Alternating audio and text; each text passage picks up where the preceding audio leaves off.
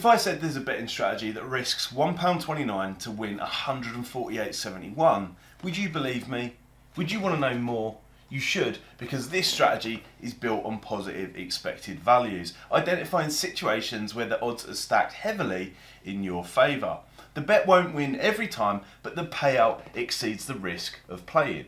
Long term, you win, and that's it. And in this video, I'll be sharing exactly how it's done and where these opportunities are every day, including numerical examples to make things crystal clear. So let's get on with it. Now I should say this strategy works on bonus restricted accounts and does not need any free bets, although it does require a sportsbook account with one of the following providers. Also, if you've got time, the bets can be placed in a William Hill, Ladbrokes, Paddy Power or Betfred shop. But be aware, bookies don't like people doing this because it costs them money. In fact, bookies don't like me, which is why they'd never sponsor this channel or acknowledge this strategy even exists. So if you get some value from this video, don't forget to sponsor the like button and subscribe down below. Thank you.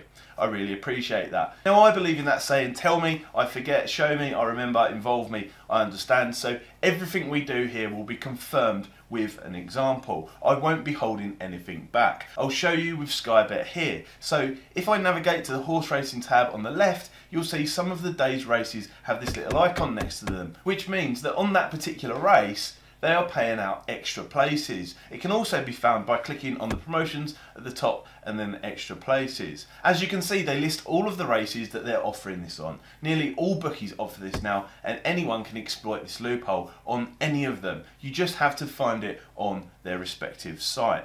The betting strategy locks in a huge profit for minimal risk when it lands. So I'll show you why with a clean set of numbers on the screen now. It might appear confusing at first, but it's really not. Pay attention to the potential returns and maybe watch it twice if you struggle the first time around. The whole thing takes minutes when you understand, and each way bet is effectively two bets. One bet for the selection to win the race and another to be placed. The place odds are paid out at a fraction of the win odds depending on the number of runners in the race. The stake for the bet is doubled because the two separate lines of the bet. So if we place an each way bet of £30 on a horse at a price of 20 to 1, then a total stake is £60. But we have a £30 bet that the horse will win and another £30 bet that the horse will place. Given the extended place terms, this presents a distinct opportunity to easily make some money. You see, the stake for the big payout we're after here is funded by the bookmaker's extra places. And in some instances, you can win way more than this example. The strategy involves placing an each way bet with the bookmaker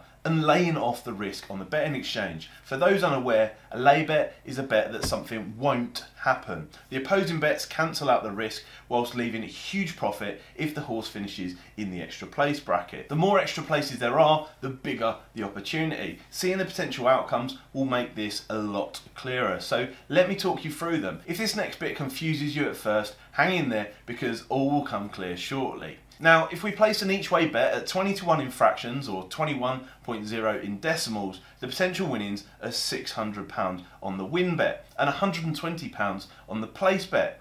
If the horse places, we lose £30 on the win portion of the bookmaker's bet and win £120 from the place portion.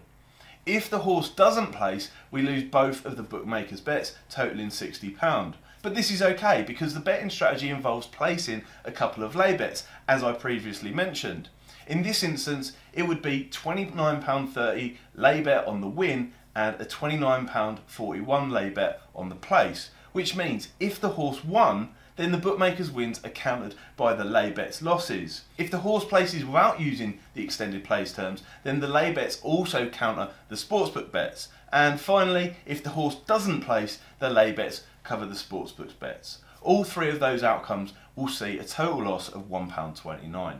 But if the horse finishes in the extra places, then the results look like this. The bookies win bet loses, but the place bet wins, and both of the betting exchange lay bets win too.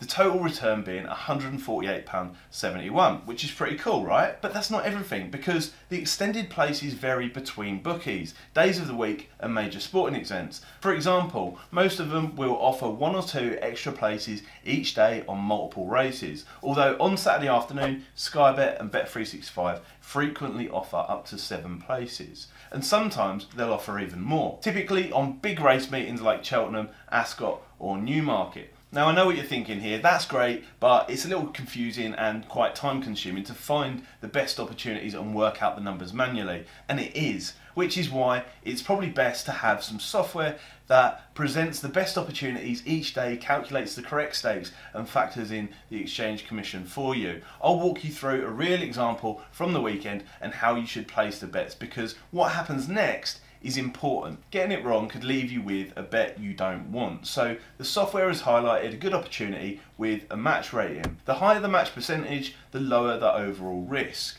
A 100% match would mean there is no financial downside to using this betting strategy. That said, they are harder to find. You can change the variables and outcomes by clicking on the relevant software box if you need to. There's a direct link to the software in the description down below if you want to try it. So Fantasticas is the bet at win odds of 13.0 with Sky Bet and place odds of 3.4. So the software calculations are based on £20 each way, given that the exchange odds are 13.5 for the win and 3.55 for the place.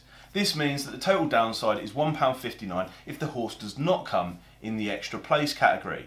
There are three extra places on this race, so there's a fair chance that it will. The total profit, if the horse does come in the extra place bracket, will be £66.41. Next, we just need to place the bets. It's a good idea to open up three tabs and pre-populate the bet slips so there's minimal time between placing the bookie's bet and then the exchange counter bets. Then, once that's done, place and confirm the sportsbook bet first, followed by the win and then place. I do it this way because avoiding a change to the sportsbook or exchange win is most important. Now Skybet didn't offer it this time, but a top tip to get even more value is to use the promotional boost that bookies sometimes offer. However, when doing that, it's worth remembering that like some firms like William Hill will only boost the win portion of the bet and not the place portion. Others like Ladbrokes will boost both. Always check the terms to be sure. Unfortunately, our horse was pulled up on this occasion, so I lost £1.59. It's not a problem though, because if we rerun that situation 40 times over, we would only need the horse to place 5th, 6th or 7th once to be in profit. But I could have guaranteed a profit from this exact situation no matter the result. It just means playing the numbers a little differently. As explained in this video here, it's a slightly different setup, but well worth the watch. Also, one below shows you how to beat each way betting without promotions or freebies. Thanks for watching, see you next time.